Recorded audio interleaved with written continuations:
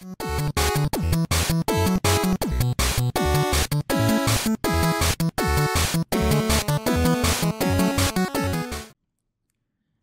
ơn các bạn đã quay trở lại một chương trình là nó bị quéo, nó bị chìm, nó bị sủi, nó bị chết mất trong vòng khoảng chừng năm vừa qua và bây giờ nó đang được hồi sinh trở lại đó là chương trình biết chọn gì đây với một ờ, số đầu tiên ờ, sau ngày trở lại ở ngày trở lại sẽ là khách mời Linh Cao Thủ. Ủa từ trước đến giờ em đã tham gia một cái biết chọn gì đây nào chưa? Cũng quá khứ anh không nhớ. Hình như là có một lần anh có đúng một lần làm khách mời á làm khách ừ. mời. Mà cái đợt đó là làm online luôn cái đợt đó được dịch đợt năm dịch ngoái đúng không? phải. đợt dịch anh với mạnh mèo đợt đó em làm với anh hay bệnh làm với mạnh mèo ta? Hình như làm với anh đúng, đúng không? Anh có nhớ mang máng. Ừ. Đúng rồi, đúng rồi. thì cái mô hình uh, đây cũng là cũng xin chia sẻ chia sẻ với các bạn khán giả là một cái mô hình của biết chọn gì đây của năm 2023 này trên kênh của Lu. Thì sẽ cố gắng là đa dạng về mặt khách mời mỗi số thì cố gắng mời được ai thì mời để cho mỗi sẽ có nhiều cái góc nhìn mới. Nhưng mà nếu mà được thì có những người mà thường xuyên mà hợp được khán giả ủng hộ các bạn có thể vote bầu chọn này các thứ thì có thể ờ, ở lại lâu hơn và xuất hiện nhiều hơn chẳng hạn. Để coi như đây là số demo số uh, pilot của linh cao thủ với một biết chọn gì đây 2023 thì uh, đầu tiên là cảm ơn em đã nhận lời tham gia. Thì uh, quốc luôn không? Hay là có muốn chia sẻ gì trước khi chúng ta quốc không? Quốc luôn đi chứ đợi có, có, gì có... nữa đợi lâu rồi không có hung hít đâu thừa vô là không có hung hít đúng không? Già rồi bị gấp anh hiểu. Chúng ta sẽ đến ngay với câu đầu tiên của biết chọn gì đây số đầu tiên 2023 rồi nó rất meta. Câu hỏi này nó sẽ đi thẳng vào giải đấu CK và con tướng mới được ờ, thay đổi rất nhiều bộ kỹ năng ở trong phiên bản mới này. Thì câu hỏi của chúng ta sẽ là ai sẽ là người đưa con Orange mới đến với LCK mùa này? Thì chúng ta sẽ có ba lựa chọn. Một là Faker, hai là Chovy, ba là một khác và nếu như khác sẽ là người đưa ra cái lựa chọn của mình.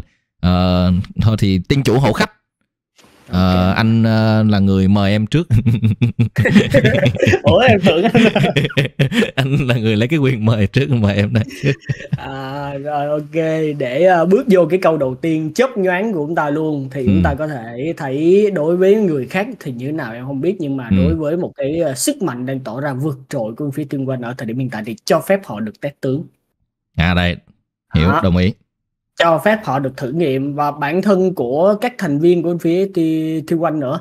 Họ ừ. cũng rất là thích có những cái sự lựa chọn sáng tạo. Đồng ý. Thì em nghĩ là faker. Em nghĩ là faker. Ừ. cái này thì anh cũng xin được phép là đồng ý với linh cao thủ tại vì nó có cái điểm như thế này nữa là anh cảm nhận là anh không biết là em đã chơi nhiều con son mới này chưa nhưng anh cảm nhận nó đang khá là phù hợp với lại faker. Tại vì một trong những điểm mạnh cũ của con son được giữ lại là cái khả năng can thiệp ra hai đường cánh mà bên phía Ferros vẫn muốn giữ lại một trong những cái bản sắc của con and Son và họ muốn giữ lại là can thiệp ra hai đường cánh thì họ vẫn giữ trong cái bộ kỹ năng của con Son này. Và nó lại rất là phù hợp với lại Faker ở vào thời điểm hiện tại. Không biết là em nhìn Faker đánh con Son này khoảng thời gian vừa qua nhiều không Linh? Có cũng có coi những cái trận uh, ranh hàng của Faker thì đánh ừ. cũng cháy lắm mà về mặt bản chất con tướng này nó cũng khỏe. Mới ừ. đầu thì khi mà mình đọc bộ chiêu mình thấy có phải tích những cái bụi sao để mạnh thì ừ. tưởng là lúc đầu thì nó cũng sẽ yếu yếu như là sinh ra không phải thực sự là quá mạnh đâu sinh ra thật ra cũng không phải là quá yếu nha. Nhưng mà ừ. vô đi đường thì nó cũng ok nè. Vô đi đường thì nó cũng khỏe cũng không đến nỗi là quá tệ. cái này một cái câu hỏi rất quan trọng là anh thì anh chưa có dịp thử trực tiếp nhưng mà số lần em có thể sử dụng một cái chiêu cuối uh, được tăng cấp sức mạnh thì khoảng bao nhiêu lần trong một ván đấu độ dài trung bình khoảng chừng 35 phút? Để tích những cái điểm bụi đó. tính ra là sử dụng bao nhiêu? Nhiều hả? có một cái có một cái đợt mà em thấy là trung bình của những người chơi mà bên hàng đi ha tại vì ừ. bên hàng với lại role player được một cái là họ farm rất là kỹ họ farm Rồi. rất là tốt ừ. nên họ tích số rất là ok à, và với cái chiêu cuối uh, chiêu cuối nó sẽ được bắt đầu tính từ cái lúc mà lên cấp 6 rồi. mình có cái chiêu cuối để có thể ấp bụi sau thì đâu đó khoảng chừng uh, phút thứ 8 là mình sẽ tích được đợt đó là em coi trung bình khoảng chừng là 80 mấy cái bụi sau thì phải ừ. là là khoảng chừng phút thứ 10 là một lần nè ừ giờ sau thì chắc nhanh hơn khoảng chừng 5 phút chắc thêm lần nữa hoặc là hơn. Khoảng 5 phút. phút. tới phút thứ 10 là lần đầu tiên sau đó là khoảng chừng cho là cứ cho 6 phút đi. Thì tới ừ. phút thứ 35 là 25 phút nữa là có được thêm khoảng chừng 5 lần nữa. Có thể đó có thể đó. Thì tổng cộng sẽ lên trên dưới khoảng chừng 6 lần sử dụng những cái chiêu cuối cái sử dụng bụi sao ở trong một ván đấu ô vậy cũng là nhiều. Tức là bạn có thể sử dụng trong hầu hết các pha giao tranh mục tiêu. Theo đúng cái nhịp uh, kiểm soát mục tiêu của chúng ta là từ nhịp rồng hay nhịp baron. Ok với những gì chúng ta đang thấy là khả năng son nó sẽ xuất hiện. Và câu trả lời chung của Lu và Linh ở trong câu 1 này là Faker rất nhiều khả năng sẽ là người đầu tiên đem con son này đến với lại LCK rồi. Ủa anh anh chọn luôn rồi hả? Đúng này nói luôn mà đồng ý luôn mà tại vì nó phù hợp lối chơi. Con này nó lủi lủi ra đường hai bên nó cũng dễ. Cho nên là anh nghĩ là nó là một cái chứ nhìn Chu Vi chắc không đánh con này nhìn nó không ra ra lắm đúng không? Thì chắc phải mua múa. Ừ, cho nên là anh nghĩ là Faker một người chơi mà đang sẽ có những pha di chuyển ra cánh nhiều ở thời điểm hiện tại rồi. Mà, mà, mà có người nào khác không ta? Có ứng cử viên nào khác không ta? Thì đó nếu mà em chọn khác nếu mà em chọn khác thì em sẽ đưa ra cái lựa chọn. Bây giờ nếu mà không phải là faker chứ coi, coi là tạm bỏ faker thì em nghĩ người nào có khả năng sẽ đem con son này ra? Chắc là Samaker Samaker ừ Samaker thấy dạo đây cũng test tướng dị nhiều chơi ừ. nhiều con tướng chắc Samaker nhưng mà anh nhìn mặt nó bữa nó phỏng vấn xong anh thấy nó nói chắc con tướng nó đem ra là con Alistar đứng giữa trước. Ở thấy chết Alistar về mà. Đúng rồi cho nên là anh không đưa ra câu trả lời đó. Nó mặt nó quyết tâm lắm. Bây giờ nó không phải là test tướng mặt nó là mặt tao sắp tao phá game rồi. Chúng ta sẽ đến với câu thứ hai. Câu này câu hỏi có không? Ờ T1 có bất bại lượt về không theo như chúng ta đã biết T1 không bất bại lượt đi khi họ thua đúng một trận duy nhất trước Hanwha Sport. Vậy thì câu hỏi dành cho linh cầu thủ là liệu T1 có bất bại ở lượt về hay không? Trong cái bối cảnh này thì ờ, mặc dù em rất muốn trả lời cái câu là có nhưng mà em nghĩ là T1 có thể thua khoảng chừng một trận ở trong giai đoạn lượt về nữa. Ừ. Tại vì em sẽ tính tới cái sức mạnh mặt bằng chung của những cái đội tuyển khác tại LCK. Mình ừ. đang thấy có nhiều, nhiều cái bước tiến rất là vượt trội. À, chúng ta đang có Lipsambok nè, chúng ta đang có thậm chí là KT Roster luôn cũng đang rất là mạnh ở trong cái mùa giải năm nay nữa. Thì uh, chặng đường về của phía Thiên Quanh nó cũng sẽ rất là căng thẳng. Và chưa kể nữa nha không biết lý do nào mà khi mà Thiên Quanh gặp những đội tuyển uh, mạnh á, thì mình không nói đi nhưng mà gặp ừ. những đội tuyển yếu á, thì đánh cũng khó. căng á. Nói ừ. chung là um, đánh hai trăm phần trăm công lực của mấy đội tuyển mà bị đánh giá yếu hơn á. Thì em nghĩ là sẽ vấp. Vậy thì ứng cử viên nào sẽ là kẻ gạt dò Tiêu Anh ở trong giọt lượt về này? Đối với em mà xong Genji rồi nha. Một trong những ứng cử viên nặng ký nhất là vượt về đã xong rồi. Bây giờ chúng ta những cái tên cộng cán kiểu như nhưng vấn đề là lượt về này đó là có câu chuyện đó là các đội không chỉ là một mình à, thằng à, Hanwha mà cái KT bây giờ nhìn cũng hơi đáng sợ. Luxembourg cũng thi đấu tốt hơn so với giờ đi bắt đầu vô nhịp rồi. Nhưng mà vậy thì em nghĩ thì cái cái đội nào là cái đội có khả năng cao nhất để gạt cho T1 nó được về? Chắc là em nghĩ uh, DK ừ. DK Nay là uh... tự nhiên có cái câu trả lời anh bị giật mình là tại vì nó vừa lạ và nó vừa nó vừa giống anh nữa. Thiệt. Ừ em có thể chia sẻ tí lý do tại sao lại là DK. Ờ, kiểu như DK uh, không biết nữa đợt này thấy đánh sao sao á có trận thì đánh rất ok nhưng mà có trận ừ. thì đánh uh, chệch choạc đánh nhìn nó nhợt nhạt lắm ừ. kể cả Kenan nữa Kenan trong cặp trận vừa rồi đánh tương đối là nhợt nhạt với những cái mẫu chất tướng mà mình nghĩ sẽ rất là mạnh như là Maokai ừ. đồ các thứ cũng không thể để là những cái điểm nhấn lớn nhưng mà trong cái trận với lại Thiên One thì chắc là lúc đó họ đang rất là khát khao có điểm ừ. họ đang Anh cần hiểu. điểm tức là em sẽ dựa vào chuyện là DK đang thiếu điểm thực sự họ đang thiếu điểm và họ sẽ cần điểm và họ sẽ có một cái khao và họ có cái tiềm lực để làm điều đó. Anh thì anh sẽ dùng một cái logic khác để đưa ra câu trả lời của mình.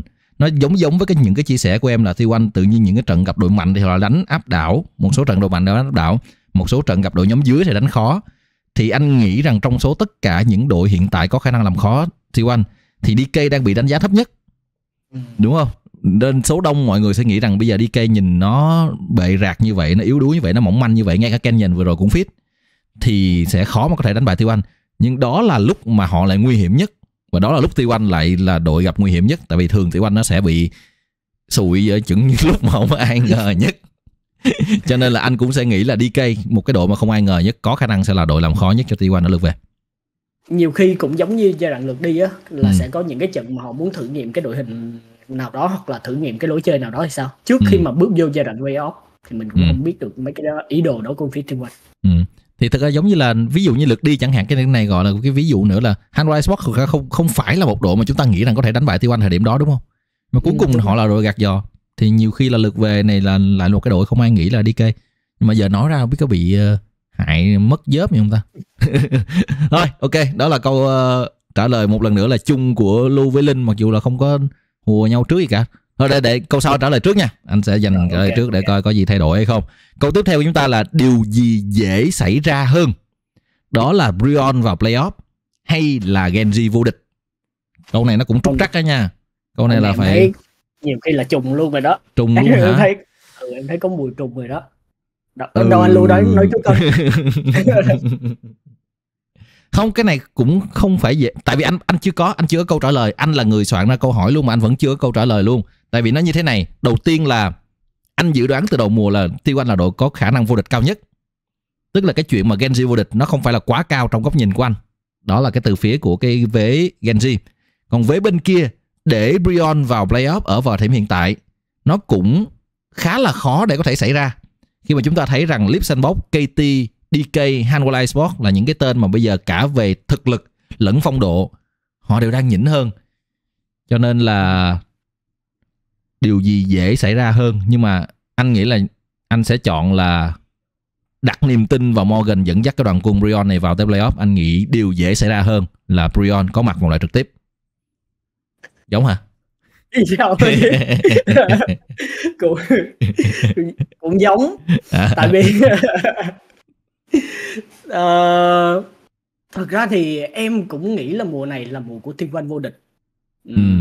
thì vẫn có xác suất là Genji họ cạnh tranh hoặc là những đội tuyển khác họ cạnh tranh chức vô địch chứ không phải là không ừ. à, nhưng mà tại vì một phần nữa là em cũng đang đánh giá khá là tốt cái đội hình của phía Rion ở một ở cái uh, cái khía cạnh là tiềm năng đó mình sẽ không biết là họ sẽ có những cái ván như thế nào mặc dù trong những tuần vừa qua đánh không thực sự tốt nha đánh ừ. rõ ràng là không có tốt lắm ở rất là nhiều vị trí khác nhau Umti rồi Caris rồi Fox rồi các thứ nhưng mà họ có tiềm năng của những người chơi Morgan thì có phải bàn rồi là một ừ. người chơi mà nếu như mà đặt vào một cái môi trường tốt á, thì có thể có thành tích rất là vượt trội ừ. à, nhưng Paris và đặc biệt là Hena em nghĩ sẽ sẽ sẽ sẽ có một cái bước nhảy lớn ở à, giai đoạn à, lượt về ừ. đặc biệt là Hena đúng rồi, thằng Hena, anh thấy là giai đoạn đầu có những cái ván rất là sáng. Nhưng mà đúng là nó không giữ được cái sự ổn định và nó nó bị mất đi phong độ. Nếu như đúng là với việc là bây giờ Brion chúng ta thấy là đường trên rất ổn định, họ chỉ cần thêm một chỗ ổn định để carry chung. Để cửa vào playoff là có.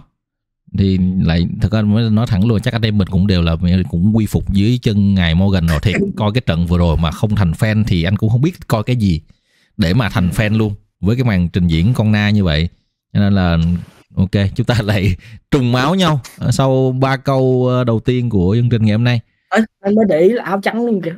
Vô tình luôn. Không hẹn được không hẹn. Cho nên là nay là chắc là có có có điểm mà không biết cái này có có có giống hay không. Ok tới câu tiếp theo nha. VCS 2023 dự đoán sớm kết quả trật tự cũ là hai đội có khả năng thống trị cao nhất và có nhiều thành tích nhất trong khoảng thời gian vừa qua là cứ nhất nhì liên tục là Gam Buffalo hay sẽ có kẻ xoán ngôi đến từ các đội phía dưới như là Cerberus, FPDC hay là bên phía của uh, Team Secret. Ừ. Căng rồi nha. Câu hỏi này đúng căng thật sự. Ừ. Nó, nó chạm vô cái nỗi uh, đau của em. Câu hỏi này nó đang chạm vô nỗi đau của em nữa. uh, không rồi nếu như trên cái khía cạnh là người mà ừ. không làm vset năm nay ở bên ngoài thì sẽ có. Này tự cầm dao tự lụi. Người Chi ngoài vậy? cuộc thì sẽ có một cái nhìn nó ừ, ừ. bao quát và sáng suốt hơn. Cười nước mắt tuôn rơi rồi em nói đi. Ừ Ờ, hôm nay nó nó vẫn là như vậy thôi chứ, ơ, giai đoạn vừa qua thì, ờ, cũng có, ơ, lần mò những cái thông tin bên lề của những cái team. Ừm. Ờ, mặc dù, ờ, năm nay không làm reset thiệt, nhưng mà vẫn vẫn tìm tìm những thông tin phía bên ngoài thì cá nhân em thấy thì trong cái quá trình chuẩn bị á, Ừm. thì bên phía của Buffalo đang được đánh giá rất là cao, đang được đánh giá cao ở trong cái, việc mà chuẩn bị tập luyện rồi kể cả những cái uh, định hướng của họ về cái ừ. góc nhìn game nữa uh, mặc dù mình chỉ nghe phong phanh phía bên ngoài thôi uh, tích lũy nhiều nguồn thì mình thấy là như vậy nên đây là cái mùa giải mà em nghĩ là ừ. Buffalo sẽ có cơ hội vô địch như vậy là như vậy là nó, nó vô cái tự, đúng thế lực cũ tức là ừ. anh nhóm từ anh quyết định của anh anh nhóm Gam Buffalo vào tại vì hai đội là đây là hai đội ổn định trong khoảng thời gian vừa qua thì họ là thay phiên nhau ấy nói chính xác hơn là họ là đội đứng nhất nhì nhiều nhất ở trong khoảng thời gian vừa qua như vậy là dù vật đổi sau giờ dù có làm VCS hay không thì uh, linh vẫn là trâu con đúng không em nghĩ là mùa này uh, Buffalo sẽ thành công uh, sẽ sẽ sẽ phá dớp được ừ. uh. anh thì thực ra là... là anh lại anh lại bị tác động bởi anh thực ra trong giai đoạn của anh anh tới thời điểm hiện tại nha tới thời điểm mà đang ngồi quay cái uh, chương trình này thì anh kịp phỏng vấn được một hai ba bốn đội ừ. Và anh bị uh, thuyết phục anh bị thuốc bởi một trong bốn đội đó. Và ừ. câu trả lời của anh nó bị ảnh hưởng bởi cái cái màn thuốc đó. Anh thực ra anh là cũng anh là thực anh, anh tốt nghiệp cũng là tốt nghiệp ngành y á là cũng đi thuốc người ta được á. Nhưng mà cái cái đợt rồi anh anh nghe anh nghe ngồi anh nghe thuốc anh anh chấp nhận cái phần thuốc đó thì chia sẻ luôn. SBTC của Ren. Ờ. nó ngồi nó thuốc được anh luôn nó ngồi nó chia sẻ nó nói về cách mà nó làm việc với SBTC nó đưa ra những cái sự thay đổi mà những thứ mà nó đã áp dụng để mà nó thay đổi SBTC và anh bị thuốc và bây giờ anh tin rằng nó có thể làm được một điều đặc biệt tức là đưa SBTC lên một cái mức mới. Không còn cứ chật vật để mà gạt dò xong sau đó là tập ừ, lọt top 4 hay là cũng chỉ đứng hạng tư. Mà đây sẽ là mùa giải mà nó sẽ đưa được uh, bên phía SBC lên một cái mức mới và thậm chí là các đội dưới này là chẳng hạn, thì anh anh cũng vẫn anh cũng vẫn tin và có thể là cái cái hướng đi lên của Secret trong các mùa gần đây. Để họ có thể thực sự thách thức được các đội nhóm trên, ví dụ như là Gam chẳng hạn, rồi cả một Cerberus đã có ego quay trở lại. Và đó chính là cái đội hình đã giúp cho họ có được cái ngôi vô địch duy nhất trong lịch sử của họ tới hiện tại và thắng chính Gam. Thì với những gì mà anh đang nói thì anh sẽ thuộc, chúng ta đã có cái sự khác biệt đầu tiên. Đó là anh nghĩ rằng sẽ là nhóm thế lực mới, sẽ trỗi dậy ở VSET mùa xuân năm 2023 này và anh tin rằng cái chức vô địch nó sẽ nằm ở ba cái thằng dưới đó. Căng này nha Cerberus SE với lại Team Secret. Ừ đó. Đúng vậy cũng căng. Thực không ra... nhưng mà có ừ, em nói cái chia sẻ thấy thấy anh luôn chia sẻ thì em nghĩ là cái cái công việc mà Ren làm cho bên phía của FPTC em nghĩ là ừ. sẽ có cái độ hiệu quả. Tại vì ừ. nó Ren đã có kinh nghiệm thành công với một vài những cái xây dựng nền tảng nhất định cho team rồi. Ừ.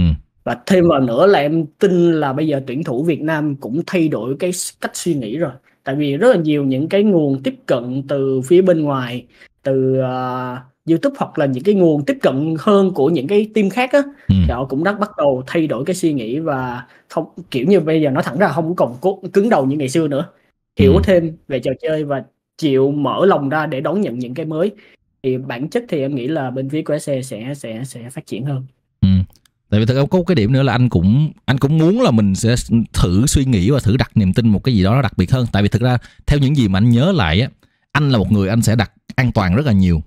Tức là anh luôn luôn sẽ, nếu mà trong những câu hỏi thường như thế này nè, trong những cái thời điểm trước, anh sẽ luôn luôn thiên về cái, trong đầu anh sẽ có cái mặc định, một cái thiên hướng là được ok, không thay đổi được cái cũ đâu. Tại vì mùa giải vừa rồi, và đặc biệt là mùa giải vừa rồi không có gì thay đổi cả. Đội hình gần như là y chang.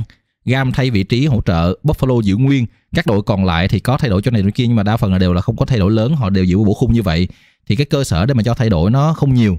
Nhưng mà đây là một cái mùa giải mới, một mùa giải mà chính bản thân VSET và cái nền liên minh thoại esports nó cũng có rất là nhiều sự thay đổi. Nên anh anh muốn thử đặt niềm tin vào một cái sự thay đổi gì đó nó đặc biệt ở trong cái kết quả của một giải đấu. Và do đó anh muốn đặt niềm tin vào những kẻ xoắn ngôi ở phía dưới. Nên là chia sẻ của anh là như vậy nhưng mà anh có hỏi là đối tượng được đặt niềm tin có muốn anh đặt không? Có muốn anh đặt niềm tin vô anh nghĩ là tới thời điểm hiện tại. Ê tính ra là mùa trước anh dự đoán đâu có sai đâu. Anh dự đoán cam vô địch mùa hè mà. Mùa xuân có sai không ta? Mùa xuân đâu có sai đâu. Không sai nha Vset không có bị mấy cái cú bị chung kết bất ngờ mà của Vset là chỉ có hồi uh, hồi team flash.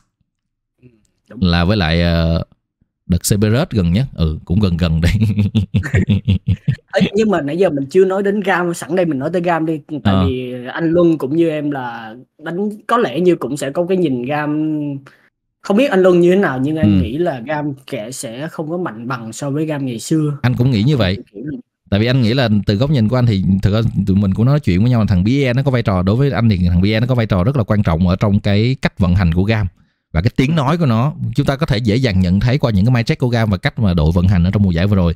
Thì cái vị trí của BE nó rất là có giá trị, nó có một cái tiếng nói lớn trong cách mà gam vận hành. Thì thay thế một vị trí lớn như vậy bằng một nhân tố, thực ra một nhân tố đó không phải là ẩn số. Jin không phải là một ẩn số. Jin là một con số đã được giải mã trước đó trong đội hình của Gam rồi. Jin không phải là ẩn số tất nhiên có một, một sẽ một trường hợp kiểu siêu đặc biệt nào đó mà Jin tự nhiên lại có những cái cái biến đổi đột biến gì đó trong khoảng thời gian vừa qua nhưng mà cái đó là cái chuyện ít xảy ra.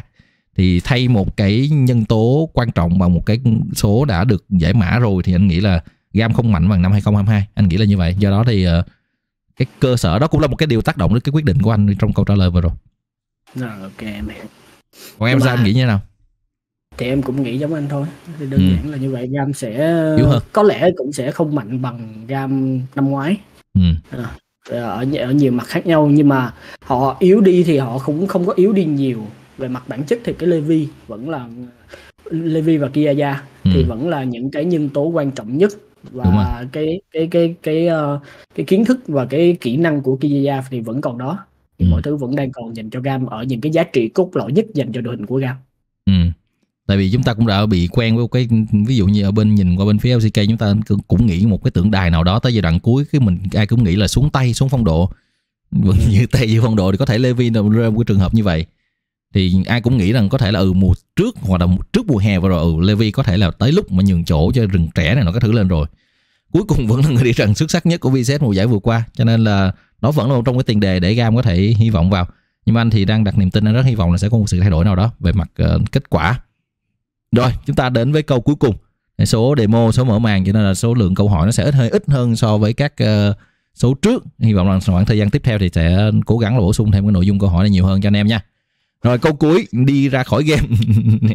Đây là câu giả dụ tại vì anh với em thì bây giờ tóc chúng ta còn xanh còn mướt còn dày còn nhiều lắm. Mà nếu nếu như mà lỡ mà nó bị hói thì lựa chọn của em là chống cự bằng tất cả à chưa. Chưa à? chưa. Chưa còn câu nữa. À, ok. còn, còn nữa. okay, okay. rồi rồi. Rồi, tới. rồi. Nhưng mà chuyện gì tới thì nó tới.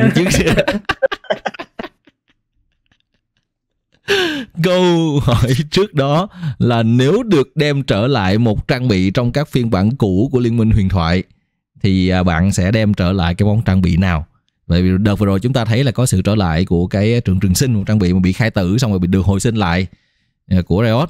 Thì uh, anh sẽ hỏi câu này chắc cho em ra lời trước đi. Trang bị nào? Em muốn đem trở lại với liên minh điện thoại.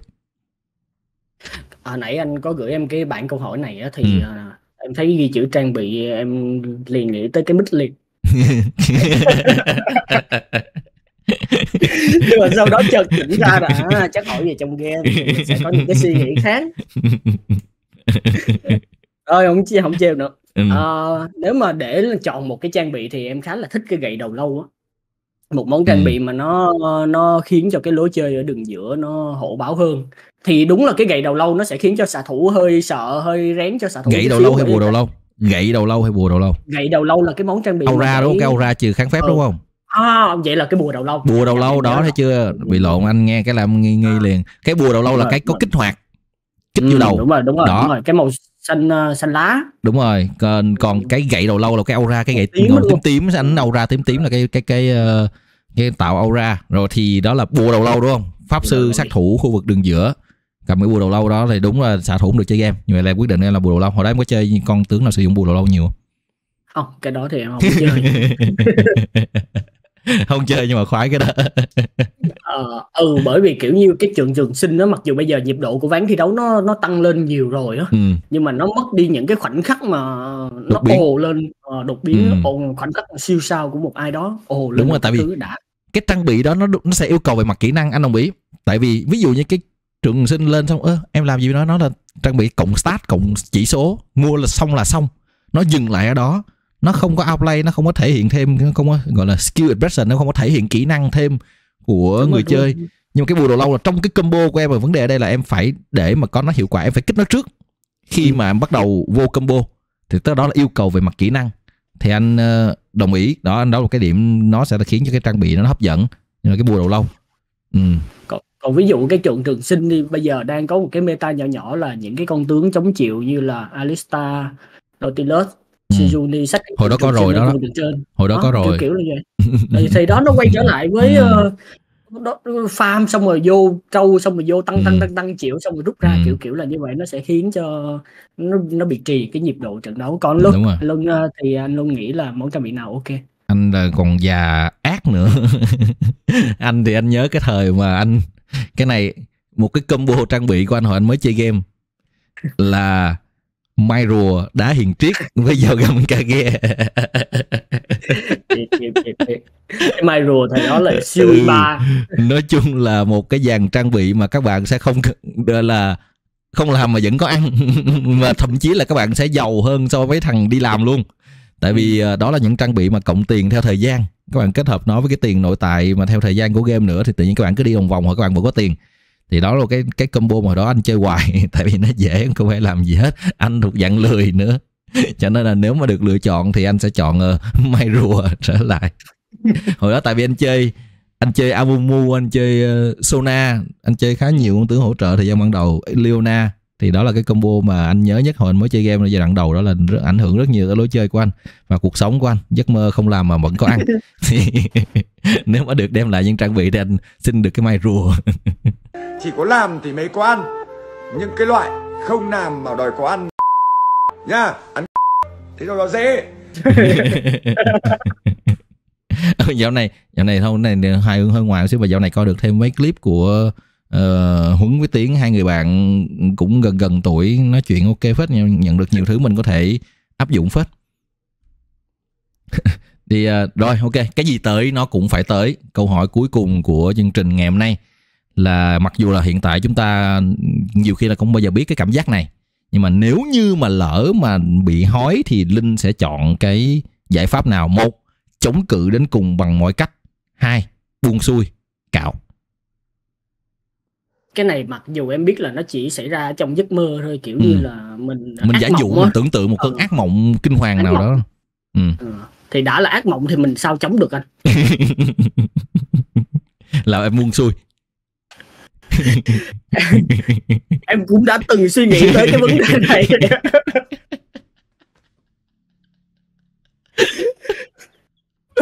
anh cũng và vậy. em cũng ông này chia sẻ thật và em cũng đã từng thử trong một vài những cái trị liệu. Nhưng em nhận ra là chống không được nữa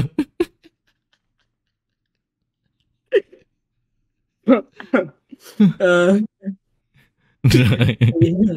thì, đó bởi vì đã chống không được thì chắc là em chỉ có một tâm sinh tận hưởng rồi đúng không? Tuần theo tự nhiên thôi nè nhưng mà nó dạo gần đây thì em thay đổi lại khi mà em thấy uh, Ren à. giống Dennis đậm ác ừ. thì chắc là mình cũng phải Trọng có một cái Ren nó thắp lên hy vọng cho em đúng không tiểu xảo nào đó chắc là đó nó nó thay đổi em đang bị lấn cứng giữa hai cái đó nên uh, nhưng mà tại vì kiểu như là ừ. chắc là nó không xảy ra đâu nên uh, không nghĩ nhiều anh thì thật ra từ từ từ từ đó đến giờ thì anh đều giữ nguyên một cái suy nghĩ. Đó là anh sẽ chọn cái vế thứ hai. Vế hai đây là không phải là, là ừ với thứ hai đó là là nếu như lỡ mà xui quá trong một cơn ác mộng kinh hoàng nào đó mà nó tóc nó cứ mỏng dần mà rớt dần á là anh cạo. Ừ. anh là anh cạo anh không chống cự. Anh không uh, cố gắng bằng mọi giá để có thể chống lại cái điều không thể chống. Anh quyết định là anh sẽ làm một cái hú cua hoặc là kiểu như đầu lính ờ, lính mỹ mà marine nào đó thứ sát sát xíu á đó. Thì là từ đó đến giờ thì anh đều đang suy nghĩ và quyết định là như vậy. Và dạo này gần đây là anh thấy dạo này nằm mơ hơi nhiều. Rồi. Đó là toàn bộ nội dung của biết chọn gì đây số đầu tiên của năm 2023 thì ờ, để các bạn đến với số đầu tiên này cũng hy vọng rằng các bạn hãy để lại nhận xét của các bạn bên dưới dành cho lưu hay dành cho khách mời linh hay là dành cho những cái nội dung mà các bạn muốn uh, chương trình? Có những điều chỉnh ở trong tương lai. Còn uh, linh thì uh, có chia sẻ gì trước khi chúng ta kết thúc uh, chương trình này không? Ờ, thì, à, cảm ơn các bạn cũng đã theo dõi những cái nội dung của anh Luân. Hy vọng các bạn ủng hộ cho anh Luân tiếp, ờ, để có thể ra thêm nhiều cái series, ơ, ủng hộ thêm cày lúa cho anh Luân, và bên cạnh đó là Linh nữa. Bên cạnh đó thì Linh cũng có cũng có một cái ruộng để cày nữa, nên nếu như mà được thì các bạn ủng hộ cho Linh nữa. Cảm ơn các bạn rất nhiều. Rồi, ok anh sẽ để cái cái ruộng của ở bên dưới. Thì, ờ, rất hy vọng rằng chúng ta sẽ có cơ hội để có thể tiếp tục, tham gia những ngồi lại chương trình này với nhau à, hy vọng rằng sắp tới thì có những cái số mà anh muốn là nó sẽ ngồi ờ, có chỗ đàng hoàng hơn để quay được các thứ cho nó thoải mái. Thì ờ, chắc là trong tương lai chúng ta dù gì cũng gọi là người chung công ty chung nhà. Thì hy vọng là nó sẽ là một cái duyên trong tương lai. Uh, ngày hôm nay thì cảm ơn linh một lần nữa. Bye bye chào anh em. Hẹn gặp lại các bạn trong số tuần sau.